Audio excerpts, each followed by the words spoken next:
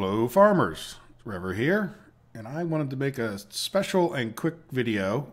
One of my subscribers, Bob, has requested to know how to recompress a map save. He tried to edit it into a compressed folder and get it to actually go back into the game. So let me come over here and say that right now I'm looking at my Farming Simulator 17 folder this is usually in your My Documents. And I'm now going to open up the mods folder. So this is all the different mods I have in there. And I know from experience and from having downloaded it that this Stiffy 2017 modland dot not modlandnet.zip is the file that we want to copy and you know to edit. So let me come here and I'll hit copy. And then what I've done is I've just in any place on your computer, I have made a folder called Stiffy Edits. You, you can call it whatever you want, just a place where you can keep things straight. If you notice, I already put in a copy of this and then I renamed it Orig. So that way there's just no chance in the world that I don't have an original copy. No matter what other stupid things I do, I know I'm not going to end up editing that one. So let me copy this over a second time and again, there's not much danger as long as we're careful, but again, I just know beyond a shadow of a doubt that this guy right here is is a you know never messed with thing. Any in any event, what I need to, what we need to do next is then decompress this one. So what I want to do is come into here and hit extract all. And then it's going to ask you where you want to save it to. In this case, there's the Stiffy edits. We're just going to extract it into this location and that'll take a minute. If you notice, there was some other options. So if I just right click on this, you can use 7-zip to do the same thing. So for some reason you're having an issue, 7-zip's a free program that you can download. It also can deal with some archive files. You'll notice here I have a program called WinRAR. I don't think that this makes the same kind of compress, but if you ever get a RAR file, that's the way you would open it get this uh, WinRAR. I think they it's one of those they want you to pay for it, but you can kind of get away with using it, you know, for free. So in any event, now it just automatically opened. We'll go back out to Stiffy Edits. So here is, you know, the decompressed version of this. And if we open this up, we'll see this is where we have our, you know, our information that's in there. So what I'll do is this is your actual map file. People don't tend to ever rename this. I'm not sure if they're allowed to. I imagine it's a setting that they could do, but this is the very standard naming format. Now you can edit this in two different ways. Sometimes I find that it's easier to actually edit with a program called Notepad++. And just to show you, you can do it with regular old Notepad that comes with every Windows PC since I remember. For quite well, that's not true. Didn't used to come with the old Windows, but since Windows was Windows, it I think they had a notepad on there. Uh, you can see how it opens it up, and you could come in here and look for a certain, you know, location or whatever. Like I said, sometimes I find it easier to edit with this. But if you want to be fancy and graphical about it, you can open it with Giants Editor. Now notice when it opens up, there's two different versions. If you're doing a FarmSim 17, 15 map, you'll have this version 6. If you're doing a FarmSim 17, you need to use this version 7. So we'll just open that up and while that's, you know, it takes a little while to load. My computer's a relatively newer, faster one, and this map isn't overly cumbersome, but but be patient about this process if you do that. But while this is open, and I'm just going to pretend you know, we're not really going to change anything here. It's more about opening it and resaving it. So let me hop back to this FS17. No, not that one.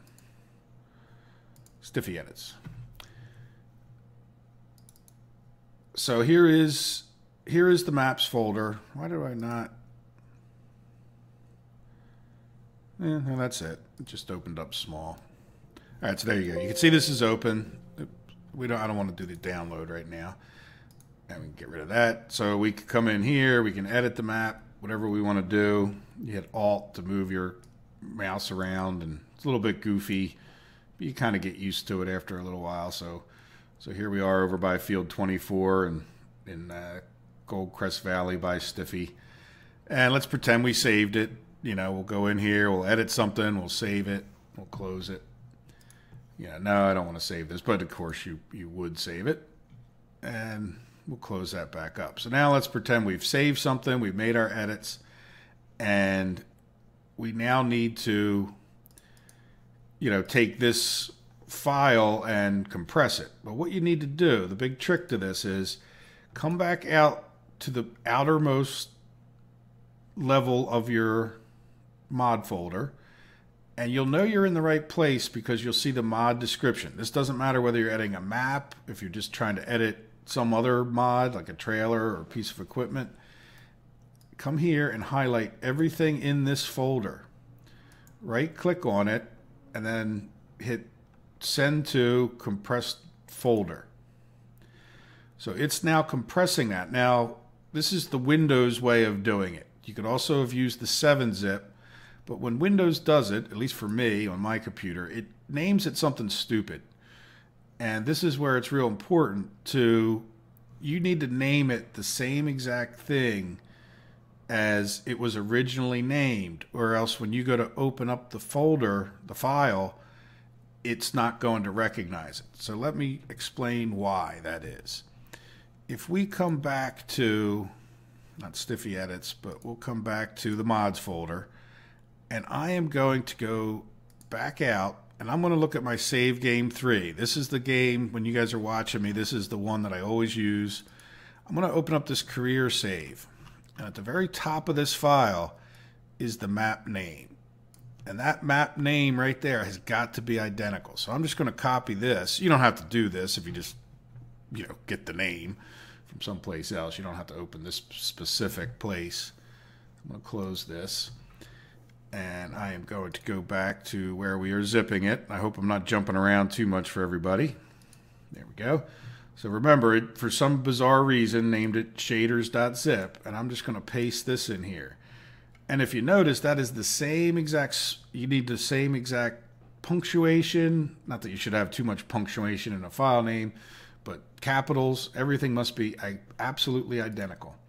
So there we go. So there's a new folder. So often what I'll do is I'll cut this out of here at that point just because I don't want it sitting in that folder. You know, if, if you really felt ambitious, you could put it here.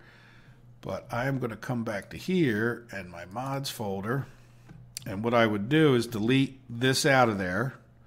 I'm not going to do it just because I don't, you know, I'm not, I didn't really edit anything, but delete this out and or some way, you know, replace the file in the destination folder. So we want to replace our mods. Shouldn't have too much to worry about because you made your original backup, remember? So even if you mess things up, you've got your original. So I'm just going to close that again. I don't, I don't want to actually do that. And that's about it. I mean, it, it's kind of that easy, but the, the real trick to it is making sure the name is absolutely identical when you get done compressing it. And if we come here to the Stiffy edits, you know, make sure you can see this mod description. Every mod has to have that mod description thing. And, you know, there it is at that point because I canceled the cut. But so this is the one that we edited. And sometimes what I'll do, you know, like, is come in here after I've successfully, this is the original, so I'm going to put like, you know, 11, 11 on this one because I can see that's the last time it was edited. And then if you wanted to, you know, it's just more about being organized and, and file file management, I guess you could call it. So I could come in here if I wanted to keep a record, paste this. See, so now I got it out of this folder. It's it's no longer in there. And I put it out here and then I might rename it 1203, you know, something like that. And that way, if I do this again, you know, I'll know which the original is. To give you an idea, and I'm probably meandering on too long, I'll keep this video short. Here's, you know, the Canadian national map that I started doing. And you can see I have this uh, wasn't prepared specifically, but there's my original. There's the one I you know, made the second copy of and edited. You know, and there's two different versions of it where I have net one, net two. I'm waiting. Hopefully, he'll come out with a map update, and you know that gets a little tricky because I have to change all the changes that he made or rechange everything I changed. Anyway, that's getting into something else.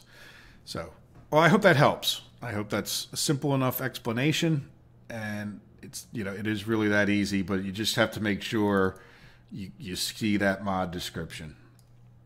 This is what belongs in there. Another hint, by the way, is you know go to your original. It, it should look identical. The zip that you end up with should look identical to the one that you created. So this one down here or up here, this is my edit of that 1123.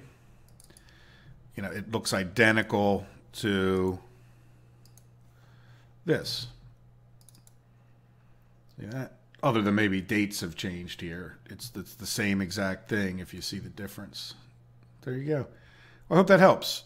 Have a good day. Take care of yourselves, and bye bye.